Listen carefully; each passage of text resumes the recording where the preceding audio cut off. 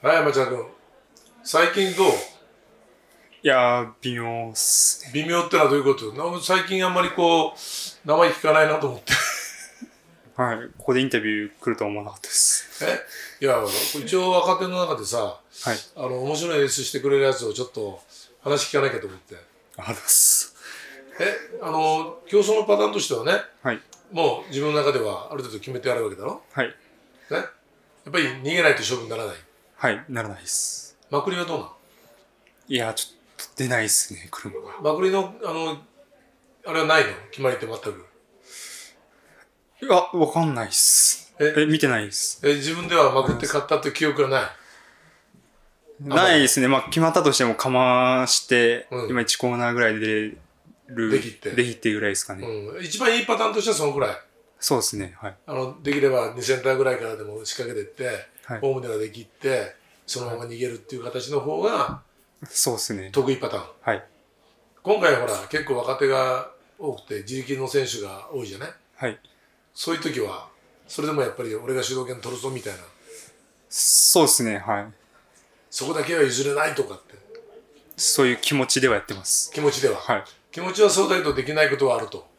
はい、体がついていかないことがありまで、す。ついていかない。はい。え、体がついていかないっていう、それはやっぱり、あの、頭で考えちゃうんじゃない？ちょっと考えすぎかもしれないですね。ねえはい。何も考えないで最初の頃みたいにさ、どうやったら主導権取れるかっていう。そうですね。どうやったら先頭に立てるかだけ考えて、はい。走れば、あとゴールまで一生懸命踏んでいけば、結果ついていくんじゃない？ねそうですね。はい。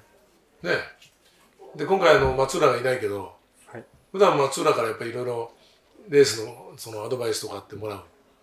最初の方はくださったんですけど、うん。もう、あんま最近は、最近はない？はい。それは認めたのか諦めたのかどっちなの？あ諦めたんです。諦めた。本人がそう言っちゃいかんだろ。諦められた。諦められました。いやいや、まだまだ諦めるには早いじゃん、年齢的には。そうですね。まだ若いもんな。まだ23ですね。だろ？はい。だって今回戦の中でも、ほとんど一番下の方じゃないの？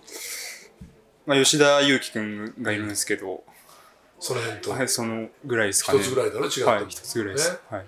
だからやっぱその若者らしいはい。競争っつうそうですね。はい。のね、ぜひ見せてほしいんだけど。はい。ね、あとはね、もうとにかく何が何でも花は一回は切るんだと。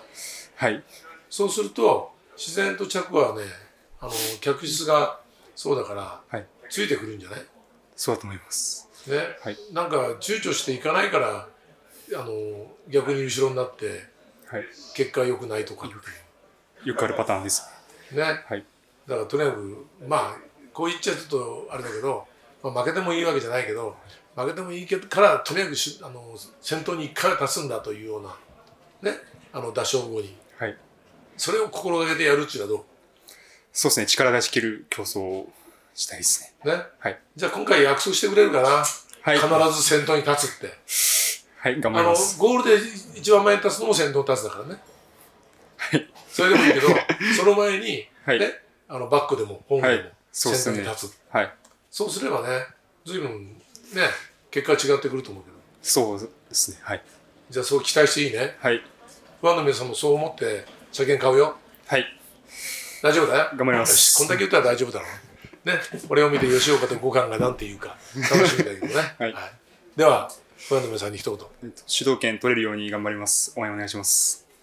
もうちょっと気合い入れて言ってほしいな。主導権は渡さないみたいな。あ、ほらし。もう一回いいですか？主導権は渡さないいいね。はい